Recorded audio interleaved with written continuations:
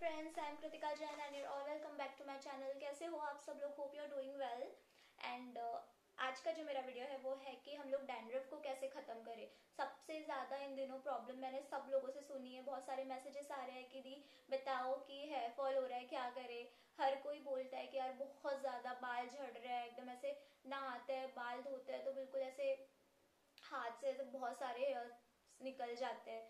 ऐसा लगता है कि बाल खत्म ही ना हो जाए। तो ये ना सिर्फ़ तुम्हारे साथ नहीं हो रहा है, सभी के साथ हो रहा है। तो इसी को कम करने के लिए या आप ये कह सकते हो, इसको खत्म करने के लिए आज का जो वीडियो है वो है, बहुत ज़्यादा सिंपल सिंपल टिप्स है जो हमारे यहाँ पे सब कुछ अवेलेबल होगा ही ऑफकोर्स बहुत छोटी छोटी चीज़ें जो कि बहुत ज़्यादा इफ़ेक्टिव है।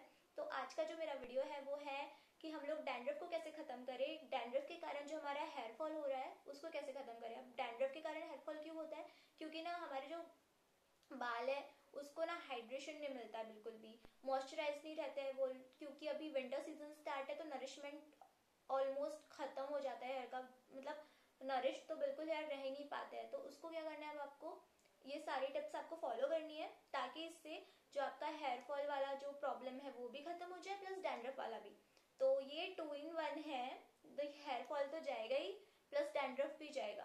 तो जो डैंड्रफ के कारण जो एम्बेरसमेंट होता है ना, वो भी नहीं होगा। तो ये टिप्स आप फॉलो करना। 90 परसेंट चांसेस है कि आपको डैंड्रफ डबल नहीं होगा। तो without any further do let's get into the video तो हमारी जो फ़र्स्ट टिप है, वो है टिप नंबर वन कि हमें यूज़ करना है नारियल का तेल। तो ये है यहाँ पे पैराशूट कोकोनट ऑयल तो कोकोनट ऑयल के तो वैसे भी बहुत ज़्यादा फ़ायदे होते हैं। बचपन में हम लोग रेगुलरली ऐसे कोकोनट ऑयल के कस्टमर्स थे तो अपने बाल कितने ज़्यादा अच्छे रहते थे, है ना? और अभी कुछ टाइम से जब हम लोगों ने ऑयल लगाना बंद कर दिया तो अपने आप सबकी यही प्रॉब्लम्स होती है कि बाल टूट रहे हैं, झड़ रहे हैं एंड डैंड्रफ हो रहा है। तो डैंड्रफ क्यों होता है? इसके मैं आपको रीजंस बताती हूँ सबसे पहले। हमारे बालों में हो जाती है हाइड्रेशन की कमी मॉइस्चराइज नहीं रहते हैं, रूखे हो जाते हैं, उसके कारण हमारे बाल टूटने लग जाते हैं। अगर हम लोग properly regularly regularly means depends on you कि अगर आप सैटरडे के दिन रात में ऑयल लगाते हो संडे के दिन हेयर वॉश करते हो, मैं यूजुअली यही करती हूँ, इसलिए मैं आपको यही सजेस्ट करूँगी कि मैं सैटरडे के दिन रात में ऑयलिंग करती हूँ तो मैं ये वाला जो कोकोनट ऑयल है, इसको गर्म करके बालों में मसाज कर लेना एंड सुबह उठकर बाल धो लेना। उससे क्या होता है, हमारे बाल मॉइस्चराइज रहते हैं और डैंड्रफ की जो प्रॉब्लम है, वो भी खत्म हो जाती है। So try it tip number two है हमारी use of tea tree oil. तो टी ट्री ऑयल का यूज़ आपको ऐसे करना है कि आपको इसकी दो से तीन बूंदे लेनी है। नारियल के तेल में इसको डाइल्यूट करना है और इसको जैसे हम लोग नारियल के तेल से अपने बालों में मसाज करते हैं, वैसे मसाजेस को करके सो जाना है। आप ट्राई करना है कि आप आधे घंटे से ज़्यादा ही अपने हेयर में ये रखें या फिर आप ओवरनाइट भी रख सकते हो। तो इससे क्या होगा कि जो हमारे बालों में जो फंगल इन्फेक्शन या फिर कोई भी इन्फेक्शन होता है ना तो ये प्रिवेंट करता है उससे और खत्म करता है जिससे कि डैंड्रफ भी अपने आप खत्म हो जाता है। सो so, यूज़ करना ये बहुत ज़्यादा यूजफुल टिप है एंड कमेंट करके बताना मुझे इफ़ेक्टिव है या नहीं। और टी ट्री ऑयल आपको कहीं पे भी मिल जाएगा नायका मिंत्रा या फिर आप किसी भी ऐप से शॉपिंग कर सकते हो पर्पल पे अच्छा खासा डिस्काउंट मिल जाएगा आपको लिंक मैं आपको डिस्क्रिप्शन में शेयर कर दूँगी।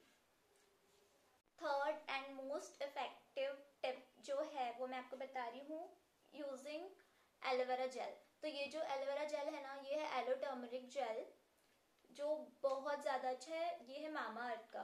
ये अच्छा इसलिए क्योंकि इसमें ना एलोवेरा के साथ साथ हल्दी भी है. सो so, हल्दी एंटी फंगल एंटी बैक्टीरियल होती है तो हमारे बालों में जो भी सिर में बैक्टीरिया फंगस जो भी होता है ना खत्म हो जाता है इससे. इसको आपको किसी के साथ डाइल्यूट करने की ज़रूरत नहीं है आप इसको नारियल के तेल में मिक्स करके ना भी लगाओ ना अगर आप इसको जनरली लेकर अपने बाल में लगा लो तो क्या होगा कि आप इसको रात भर रखोगे ना तो वो अपने आप ही पता है कि आप सुबह जब हेयर वॉश करोगे ना तो वो दिन भर आपको डैंड्रफ वाला तो बिल्कुल भी नहीं लगेगा। आप इसको रेगुलरली भी बालों में यूज़ कर सकते हो। मतलब ये कोई चिपचिपात तो बिल्कुल नहीं है। स्पेशली मैं इसको पता है आ, बाल धोने के बाद भी यूज़ करती हूँ। इससे ना बहुत ज़्यादा नरिश्ड और मॉइस्चराइज हेयर रहता है। तो इसको तो बिल्कुल आप ट्राई करना, क्योंकि हमारे बालों में जितने भी इन्फेक्शन हो गया अगर फंगल बैक्टीरियल कोई भी तो ये उसको ठीक कर देगा। आप ट्राई करना, आप इसको ऐसे ही यूज़ कर लीजिएगा। ये हंड्रेड परसेंट इफ़ेक्टिव है। मैं इसको यूज़ कर रही हूँ रेगुलरली मतलब मैं तो रोज़ ही लगाती हूँ इसको। तो गिव इट अ ट्राई देखो, आधी बॉटल ख़त्म भी हो चुकी है tip number four which is very very important इसमें मैं आपको कोई इंग्रेडिएंट नहीं बताऊँगी। कोई ऐसी देसी नुस्खे भी नहीं बताऊँगी। ये बहुत ही ज़्यादा बेसिक चीज़ है। क्या है ना कि हम लोग बहुत ज़्यादा स्ट्रेस लेते हैं। बहुत ज़्यादा टेंशन होती है अपने को दुनिया भर की। एंड हम लोग पानी नहीं पीते प्रॉपर डाइट नहीं लेते, जिसके कारण क्या होता है कि बालों में डैंड्रफ तो होता है प्लस बहुत सारी बीमारियाँ होती ही है। तो मैं आपको यही बोलूँगी कि स्ट्रेस मत लीजिए बिकॉज़ स्ट्रेस लेने से ना बाल झड़ने लग जाते हैं। अब सॉरी बट मुझे किसी की याद आ गई कि ये ना बहुत ज़्यादा जो टेंशन लेते हैं ना तो उनका धीरे धीरे से टकला भी होने लग जाता है। तो तो प्लीज़ आप लोग ट्राई करना कि स्ट्रेस ना लो प्रॉपर डाइट लो और अवॉइड करो ज़्यादा जंक फ़ूड तो उससे क्या होगा कि हेयर के साथ साथ स्किन भी अच्छी रहेगी। तो या give it a try stress मत लेना, पानी प्रॉपर पीना। एंड या that's it for the video तो यही था हमारा आज का वीडियो अगर अच्छा लगे तो लाइक करना, मेरे चैनल को शेयर करना और सब्सक्राइब करवाना अपने दोस्तों के, दोस्तों से भी. खुद भी सब्सक्राइब करना. एंड या अगर ये सारी टिप्स आपके लिए थोड़ी सी भी इफ़ेक्टिव हुई ना तो प्लीज़ कमेंट करके बताना. तो या बाय